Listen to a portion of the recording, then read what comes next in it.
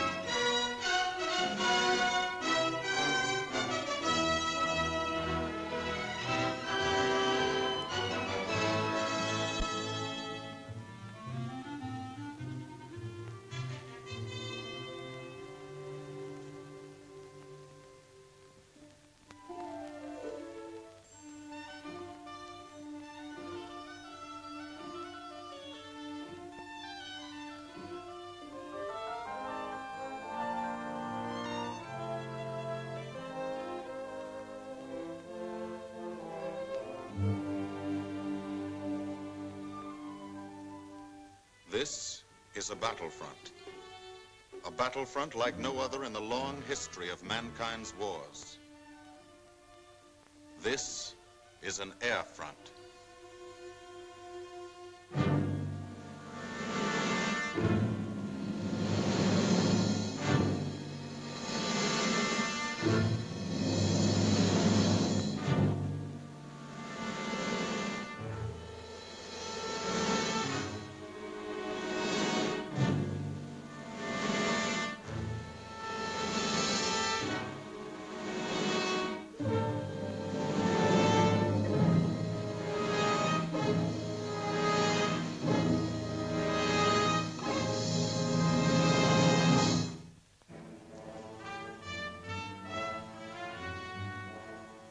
Working day begins as it will end with the ground crews, as much a part of the fortress as her wings.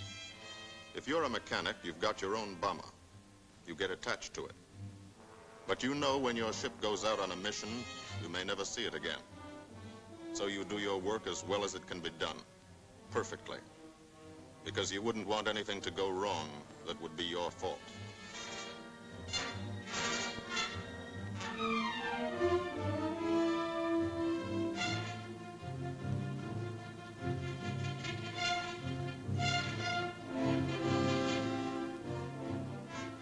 Today, the bombs will be taken from these bomb dumps somewhere in England and delivered to specific points in Wilhelmshaven, Germany.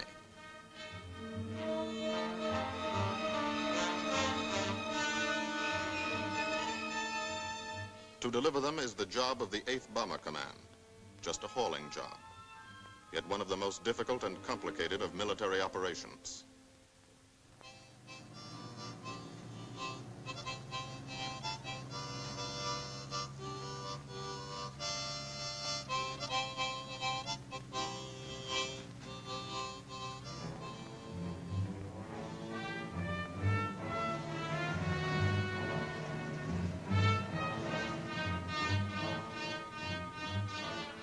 General purpose demolition bombs. Impact velocity as high as 750 miles an hour. Pierce five inches of armor plate. Destroy a factory. Briefing at 0800. Pilots, bombardiers, and navigators take their places. The group commander, Colonel Stanley Wray, steps up to the target map, and for the first time, you learn where you're going. Sometimes your face turns white when you find out. Sometimes the feeling you won't come back tightens your insides. Not so long ago, you were sitting like this in a college or high school classroom, not listening too hard, perhaps even a little sleepy. But you listen here. And as you listen, you don't have time to think of yourself. Fear fades. You concentrate on the mission. Type of formation, assembly point, zero hour, route to target, weather, enemy fighters, enemy flak, route back home. If forced down in enemy territory, destroy equipment. If taken prisoner, give no information. Name, rank, and serial number. That's all.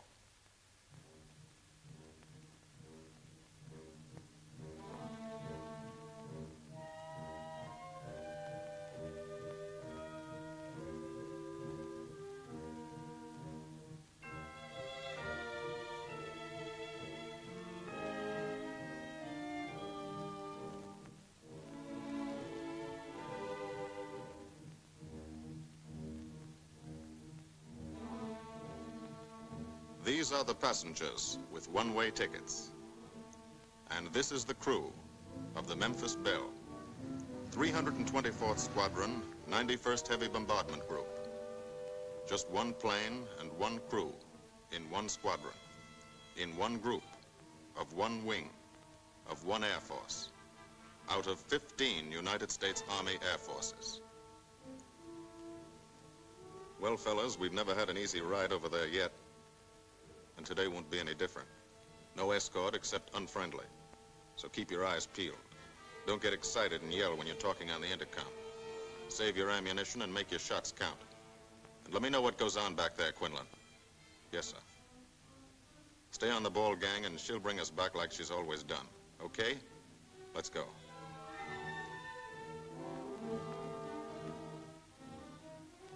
They have completed 24 missions in this, the toughest theater of air war, the big league of sky fighting. Their experience is priceless. And so, if the Memphis Belle comes back this afternoon, they will be sent to bring the vital lessons they have learned to thousands of aircrew men in training at home. Home is America.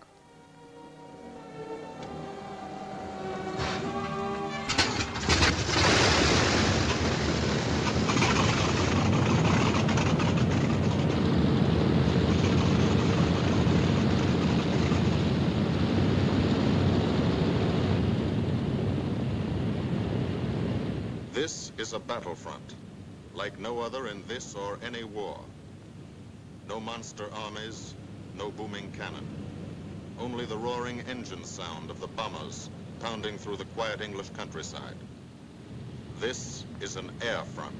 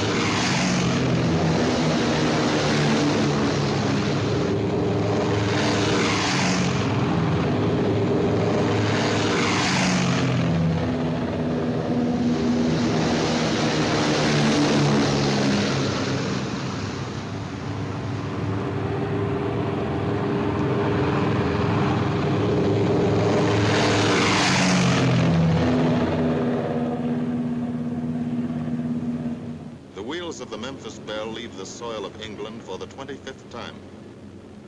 The friendless soil of England, with its ordered farms and rural hamlets, its country estates surrounded by formal gardens and well-kept parks. The England these Americans knew only from the classics they had to read in school. The England of the towns and cities, whose people have defended their island's freedom for over a thousand years. But today, their countryside has changed. Today, their island has been converted into a gigantic bomber field, a super aircraft carrier anchored off the shores of Fortress Europe, with hangars and machine shops, with hundreds of dispersal points, perimeter tracks, and concrete runways. This is England in its fifth year of war. And this is the new battlefront, the air front, from which we seek out the enemy. Not his infantry or his artillery, not his panzer divisions, but the greater menace, the industrial heart of his nation, the foundation on which the Nazi Empire and its armies stand, the power behind the German lust for conquest. The steel mills and refineries, shipyards and submarine pens, factories and munitions plants. Pinpoints on the map of Europe which mean rubber, guns, ball bearings, shells, engines, planes, tanks, targets. Targets to be destroyed. And these are the destroyers, each with a belly full of bombs, and ten men like the crew of the Memphis Belle. Pilot Captain Robert Morgan, industrial engineer from Asheville, North Carolina. He's flown this ship across the Atlantic. The other pilot, Captain Jim Verinis, business administration student at the University of Connecticut. Radio operator and gunner, Sergeant Bob Hanson, construction worker from Spokane, Washington. Navigator, Captain Chuck Leighton, chemistry student at Ohio Wesleyan. Engineer and top turret gunner, Sergeant Harold Loch, from Green Bay, Wisconsin. Used to be a stevedore. Besides keeping the Belle in order, he covers the sky above. Tail gunner, Sergeant John Quinlan of Yonkers, New York. Clerked for a carpet company, but he quit December 8th, 1941. Ball turret gunner, Sergeant Cecil Scott. Pressman for a rubber company in Rahway, New Jersey. Pilot to crew, 10,000, put on oxygen. They're climbing higher now, 300 feet a minute. The strain on the planes and on the men is mounting. The rest of the crew, Bombardier Captain Vincent Evans, operated a fleet of trucks in Fort Worth, Texas. Waste gunners, on the right, Sergeant Bill Winchell, chemist for a paint company in Chicago. And on the left, Sergeant Tony Nastal, used to repair washing machines in Detroit when he was a kid. Now he's 19 and has two Nazi fighters, confirmed.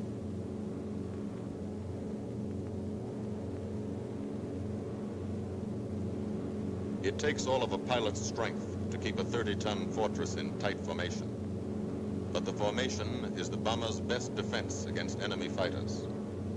The planes are deployed to uncover every gun, stepped up and down, echelon to the right and left, arranged to overcome the danger of gunners firing into friendly ships, arranged so concentrated cones of fire from the caliber 50 machine guns cover the sky for a thousand yards in every direction.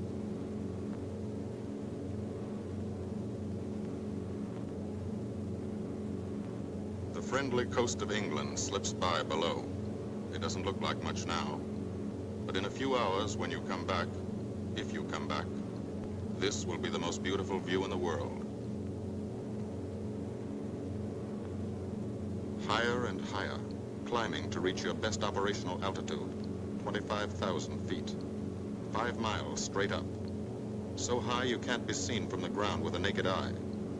So high that after one minute without oxygen, you lose consciousness. After 20 minutes, you're dead.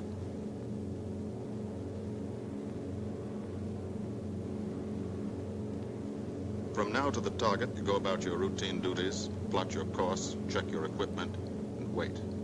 And think. Higher and colder. Temperature 40 degrees, below zero. Take off your glove and you lose some fingers. You look out at the strange world beyond. Reflections in plexiglass, like nothing you ever saw before, outside of a dream.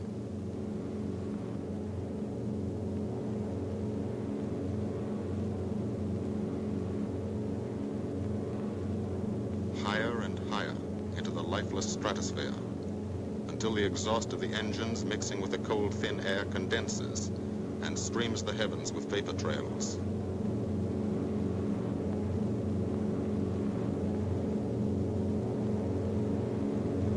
To the men in the ships, they're far from beautiful, for they point like beckoning fingers to the formation, signposts in the sky for the enemy to spot us.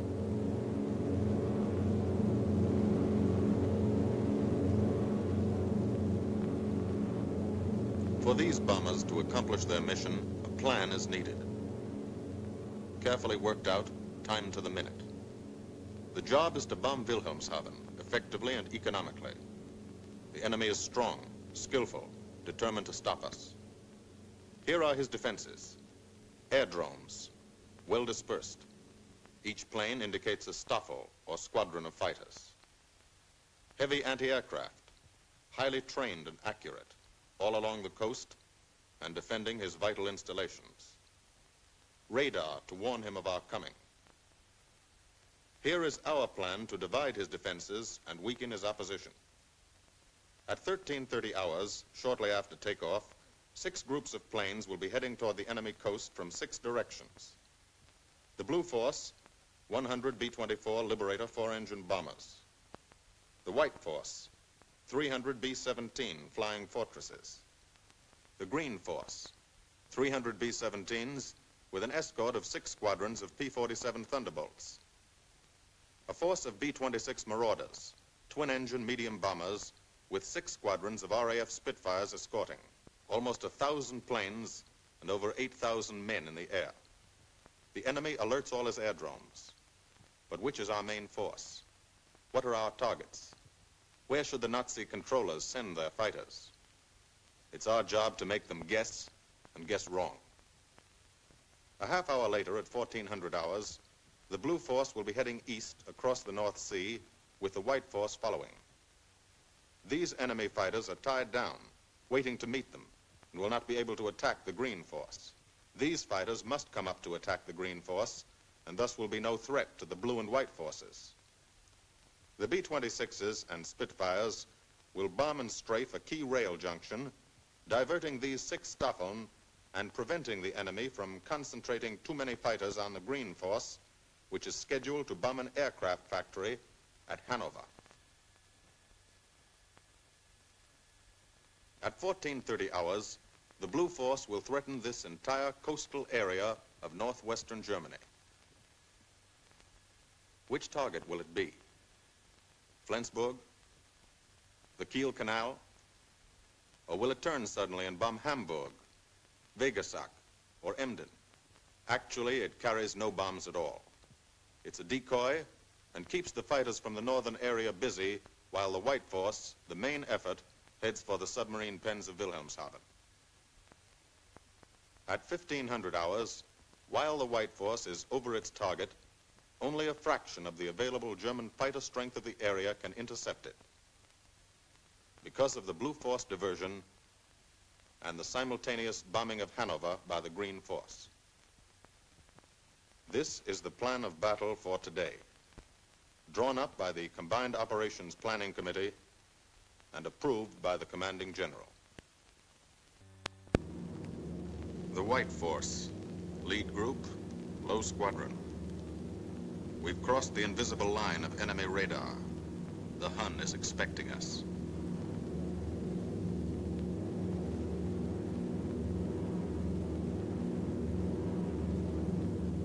Steel helmets go on. Watchful eyes strain. Tight formations are held tighter still.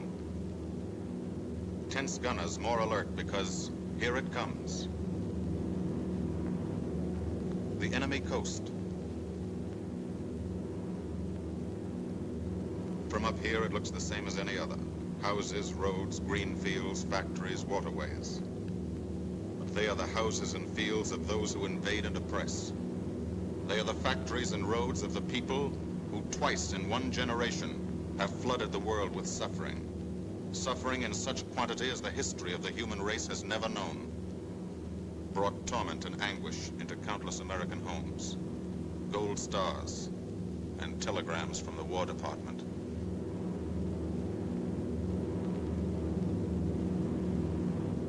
The first flak, just harmless looking, silent puffs of smoke only each puff is a shell exploding, throwing shrapnel around the sky. Exactly the range, accurate flak by radio prediction. Five miles down, Nazi anti-aircraft batteries have calculated the altitude, speed, and course. Where will the next one hit? You try not to be there.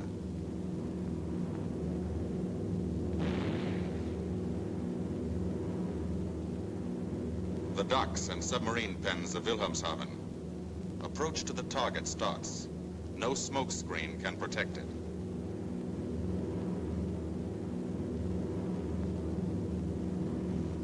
The enemy knows the path of your approach and walls that path with a flak barrage. But you fly right through it. Flak so thick you can get out and walk on it.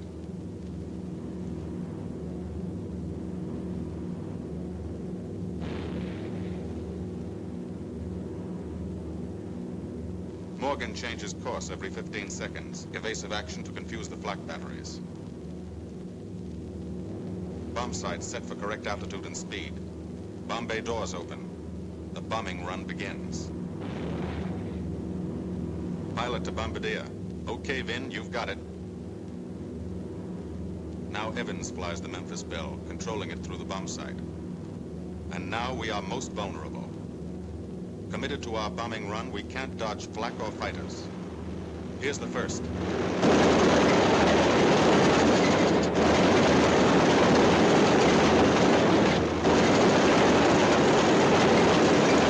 Top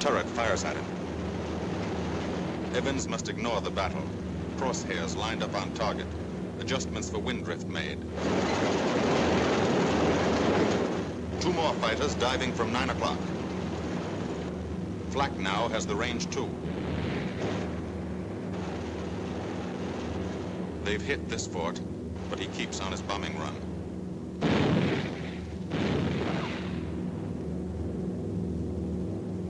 As lead bombardier, Evans's aim must be good. Every other ship in the group will drop its bombs when he drops his. Now one pointer on the bomb sight moves toward another stationary pointer. The instant they touch, bombs will release.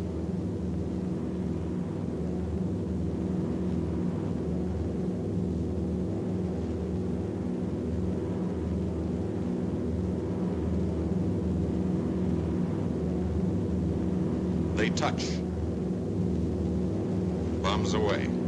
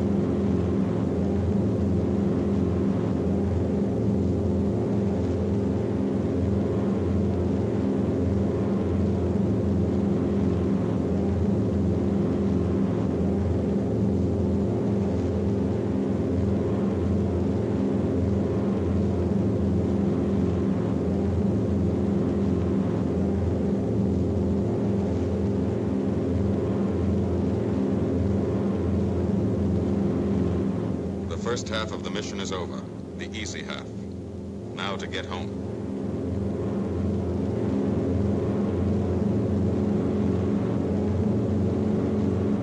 The flak stops. That means fighters out there somewhere. A Staffel lurking behind that cloud. Or hiding up in the sun where the glare blinds you and you can't see them, waiting to dive down on you. Fighters at six o'clock. This is what a gunner sees. A speck in the sky. That's a fighter. And then a blink. That means he's firing at you 2,300 rounds a minute.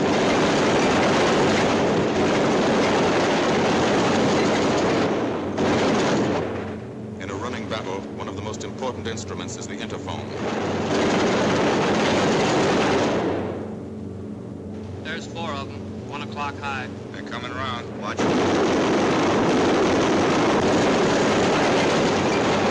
Two fighters, six o'clock up, coming in, diving at chief. 17 in trouble out at 2 o'clock. Watch it. Got an engine on fire.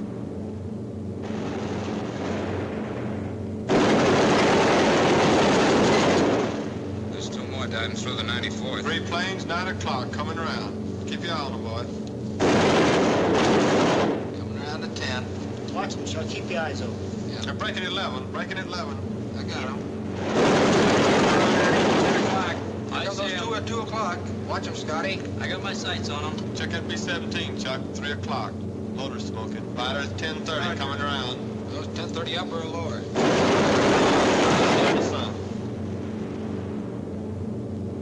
B seventeen out of control at three o'clock.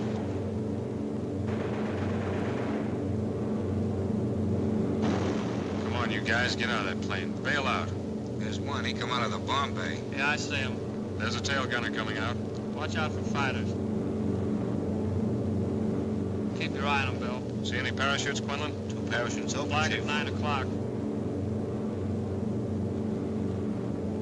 Eight men still in that B-17. Come on, Get out of there. There's three more chutes. Flak, 11 o'clock. Fighters, 6 o'clock. ME 109 at 3 o'clock. Keep after him, Winchell. I see him. I'm on him. Come on, use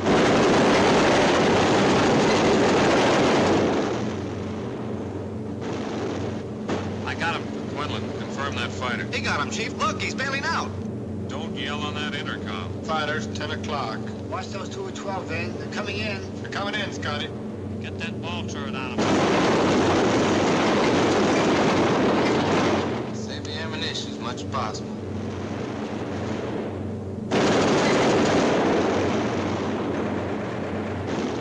Watch that fighter coming in at 3 o'clock. He's coming in on a half roll. Pull her up, Chief. Pull her up. Hurry.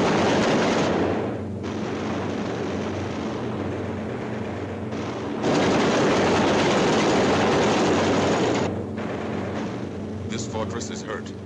Engine on fire, losing airspeed and altitude, drifting into the flak, alone and helpless. A straggler. In a minute, Nazi fighters will swarm in like buzzards for the kill. You can watch, but you can't go down to help. You keep your formation.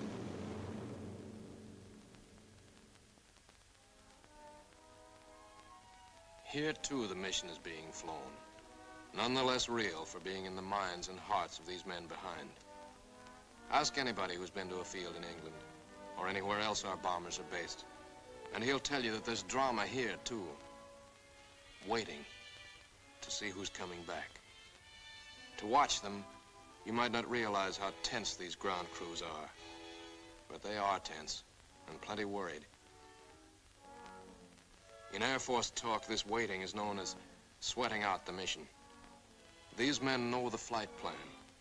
Their watches told them when the bombers were running into enemy flak, when they were over the target, when they left the enemy coast.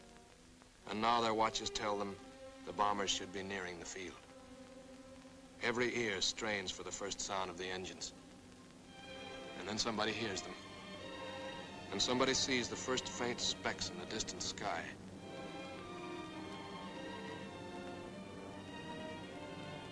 Every face turns to see count. The watchers try to read the numbers on the ships. These planes have priority to land first. The colored flares mean wounded aboard. In the hospital window, these watching men know what that means. They know what it feels like to lie on a bouncing fortress floor for hundreds of miles through the frozen stratosphere in great pain, with the other men in your crew fighting to keep you alive until they hit the field. The field. Home. It'll be okay then. Because there'll be medical care. The best. As soon as the wheels of your plane stop rolling.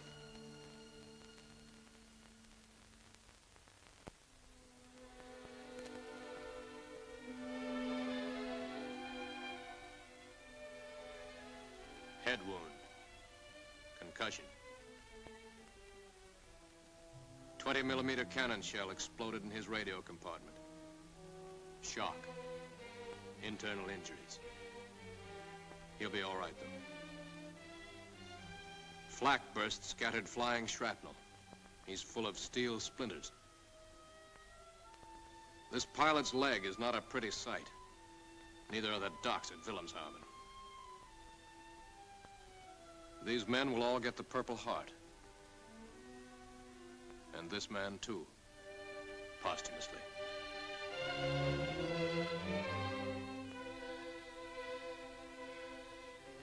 A transfusion right in the plane.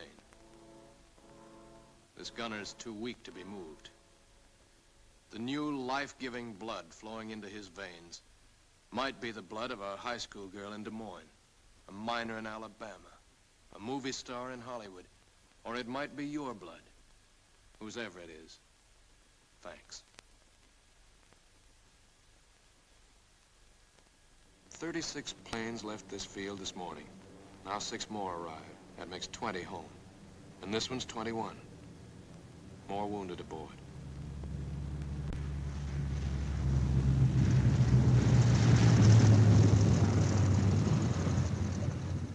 Twenty-two, coming in with his left inboard engine dead.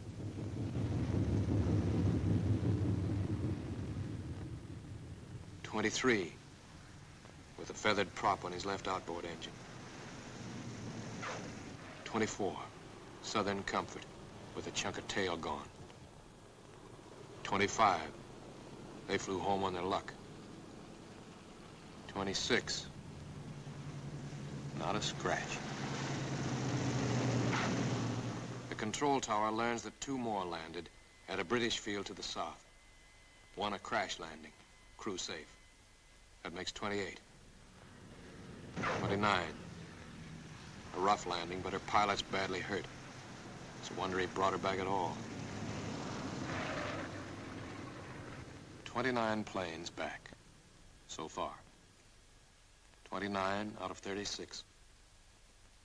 Our losses were heavy, but the enemy's were far heavier. We destroyed a German aircraft factory, a rail junction, submarine pens, docks, and harbor installations.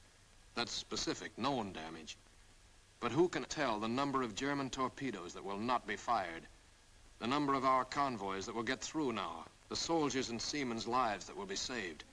Or the battles that will be won instead of lost? Because of what these bombers and airmen did today.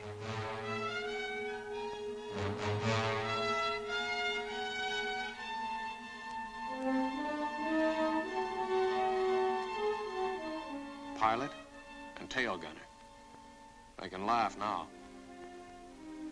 Fire on the inboard engine did this. Flames streaked back and burned the stabilizer, too. Another crew luck brought back.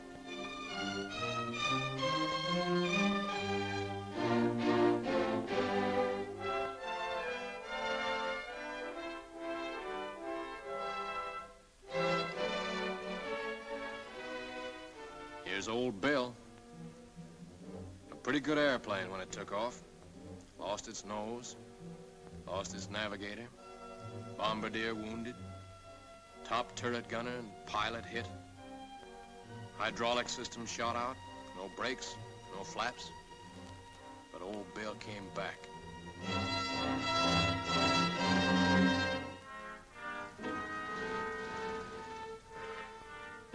Now, among the returned crew members, talk flows like a river, talking out every detail of the mission. These are the faces of combat, faces of Americans who have watched their comrades die, faces that can never forget the enemy, and they're in no mood to have their picture taken.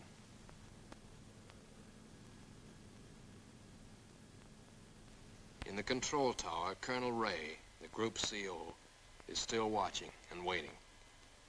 And then he spots the last flight. Three more planes. And one of them is the ship everyone has been pulling for. The Memphis Belle. The last few miles of this trip have been a joyride. The strain is over. They can leave their guns now. Now they know they're going to go home. To Spokane, Green Bay, Asheville, Detroit, Chicago, Fort Worth, and Yonkers.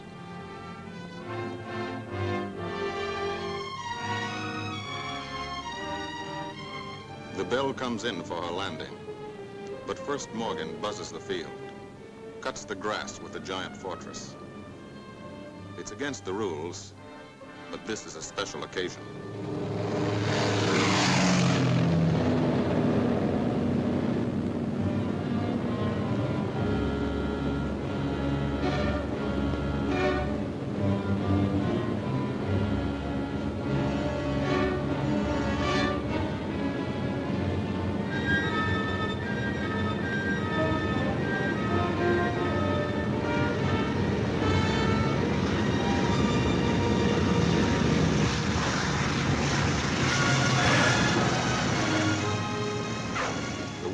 Memphis Belle come back to the soil of England for the 25th time.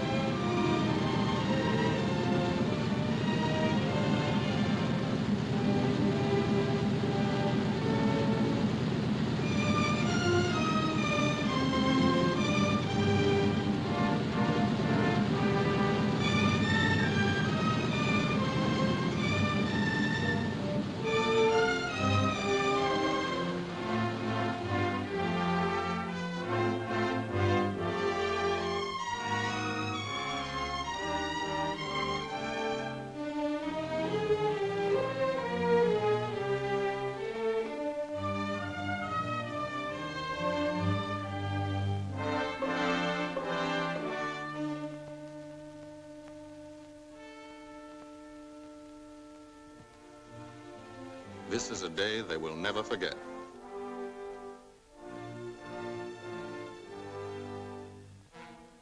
Another great day soon after, Brigadier General Hansell visited the field and presented the Distinguished Flying Cross to every member of the crew.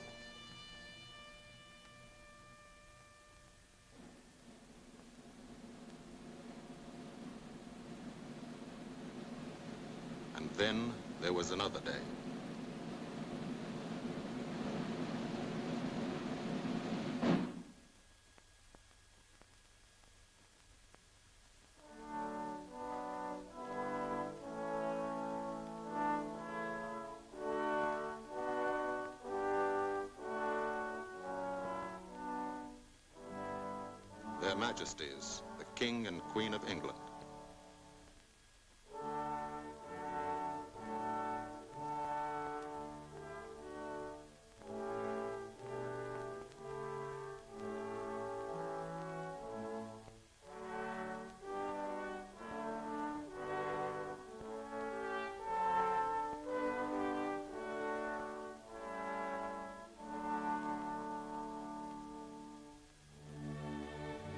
Johnny Quinlan never thought anything like this would happen to him when he left Yonkers.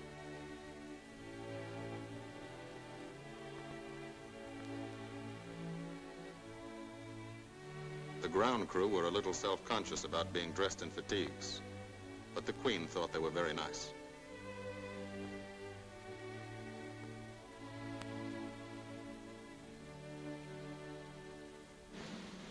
Finally, two more visitors came. General Eaker, commanding the 8th Air Force, and General Devers, U.S. commander of the European Theater. The Belle crew received them in flying clothes. As General Eaker read the order for what he called their 26th and most important mission, return to America to train new crews and to tell the people what we're doing here, to thank them for their help and support, and tell them to keep it up so we can keep it up, so we can bomb the enemy again and again and again until he has had enough. And then we can all come home.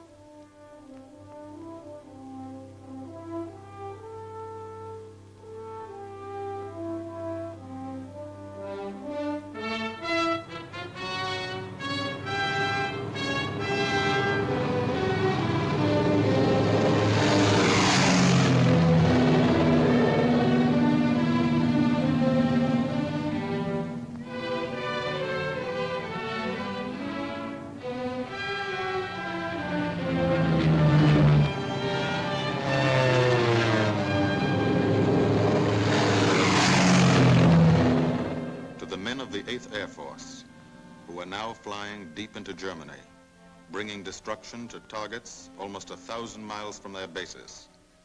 Destruction like this. And who have never once been turned back by the enemy. To those men, this film is gratefully dedicated.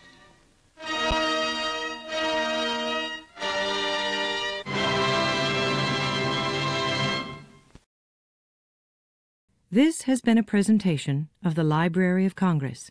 Visit us at loc.gov